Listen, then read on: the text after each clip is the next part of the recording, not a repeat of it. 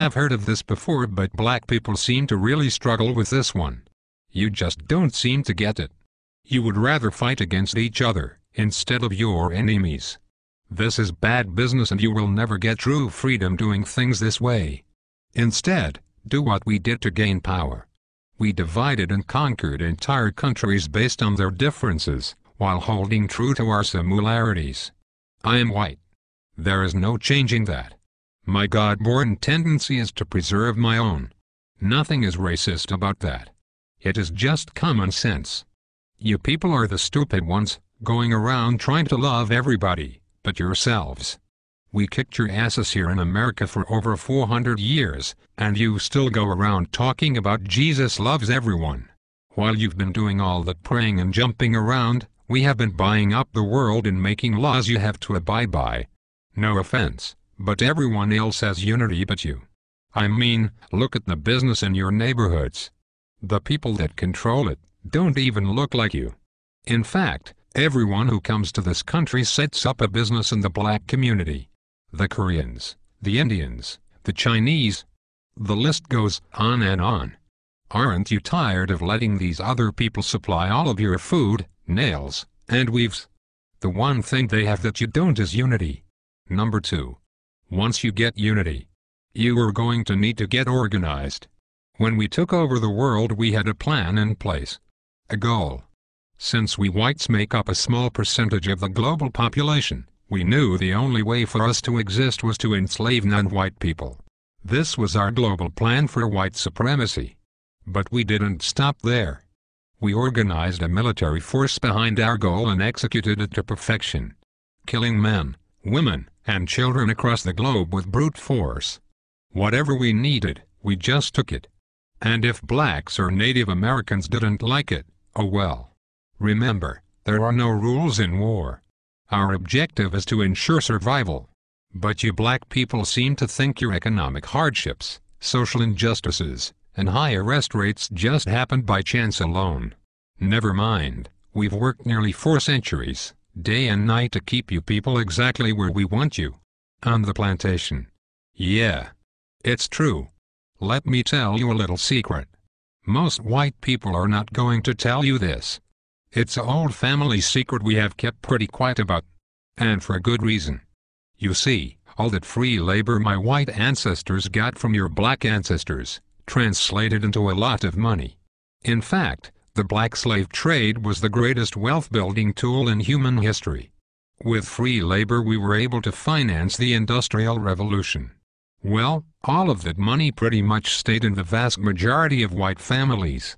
And with all due respect, whites intend to keep it that way. You see Dr. Martin Luther King was pretty good at integrating lunch counters and toilets, however, he didn't do so well at integrating bank accounts. So you blacks were shafted out of the money that was due to you in exchange for a good job and education. But it was us whites who own most of the jobs. Which brings me to my point. It's just another plantation.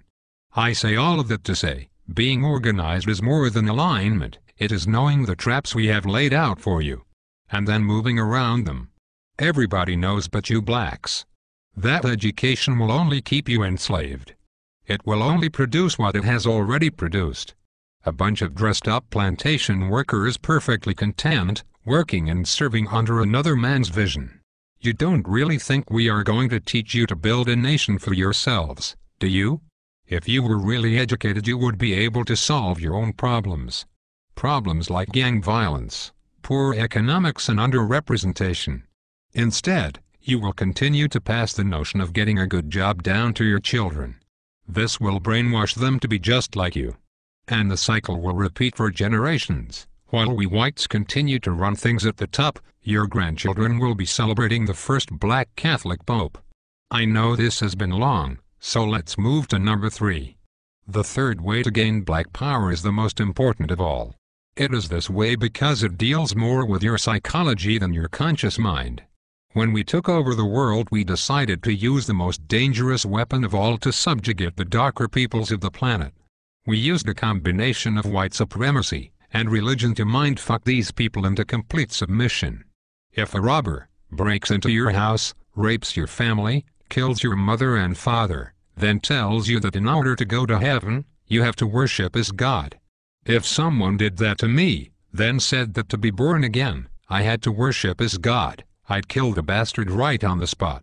But you black people seem to have no problem worshipping the God of your enemies. Even worse is the fact that for all the praying that you have done, it seems like the God of the white man is just as racist as we are.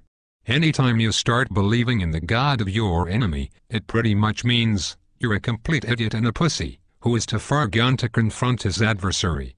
This is a deep sickness because to believe the man who murdered your family is your friend, is to believe that watermelons have gills. This kind of thinking lacks critical reasoning, a skill needed to defend territory and the minds of the youth. You even believe that Haiti, the only black nation that ever kicked the white man's ass, is cursed because many of them practice voodoo. You even go further and believe that it was God that hit Haiti with a 7.5 earthquake. You religious-minded blacks thought this about New Orleans too. Let me tell you the truth. We gave you this God, because we knew by worshipping a white God you would subconsciously be worshipping us.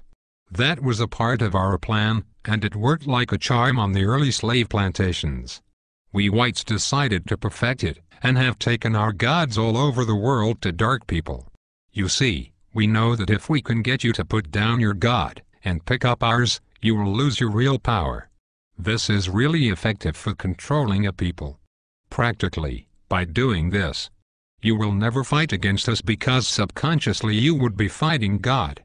I know that is a serious mindfuck. But that is why you cheer for a white Jesus to kill all the darkies down in Haiti and New Orleans, while kissing Pat Robertson's ass. Meanwhile our HAARP machines can shake up more prime real estate for the oil companies.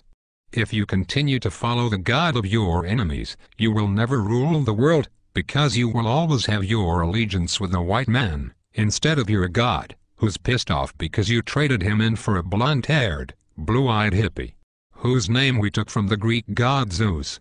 So, let's recap. The top three things you need to do to rule the world, and to have black power is Number 1, get some unity. Stop killing each other over nickel bags of weed and coke. You are basically helping to kill off your own army.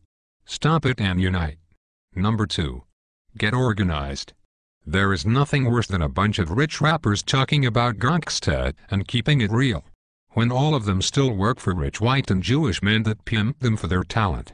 With Jay-Z, P. Diddy and Oprah, you black people should have your own distribution company by now. Instead of relying on your white backers to put out your albums. This is because you are not organized. This goes for all you sports athletes too. You black sports guys are stupid. You're a grown man and you still have an owner. Stop being a slave and wake up.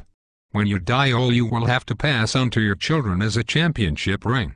When I die, I will have at least two islands and a few manufacturing companies to extend my legacy.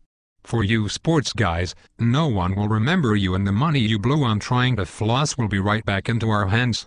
You need to organize and put your money and minds together, for one common goal. Black Power. Last but not least, you have to stop following the white man's God. He has really done nothing for you since you started to believe in him. Basically all my God has done for you is allow white guys like me to continue stealing from you. Sure, we'll give you a few rich blacks to make it up the ladder. But this is to keep up open you. So that you will teach cowardness and fear to your children and get nothing in return. You will keep praying while we will keep slaying. And taking more land and control of the earth. It will be this way as long as you fall for the lie that some white dude is going to come down from the skies and pull you out of this shit. Stop it. Instead, go back to believing in your God. The God you had when you were rich in Africa and had diamonds, gold, and health. It certainly beats the crap the white man's God has given you. Even if you believed in rocks, you would probably have more luck than what you have gotten with this guy. One last thing. Black people need to stop saying that they're blessed. This is not only dumb, but it lets us white people know that we are still very much in control. If I steal you from your home and throw you into a cardboard box, have you work for 400 years on a plantation, just because I give you a pillow, doesn't mean that you are blessed. It just means that I gave you a fucking pillow. If a guy cuts off your hand, and then turns around and gives you a bandage, it don't mean anyone blessed you. He just needs his slave to be able to work the next day. So you are not blessed just because the white man gives you a doggy treat. It simply means, you are fucked. So given all the crap you blacks have dealt with here in America, and abroad a new car or money for the life bill are just tools we white folks who are trying to run a plantation do to keep up the morale. So, if going from Africa, a land of milk and honey, diamonds and resources,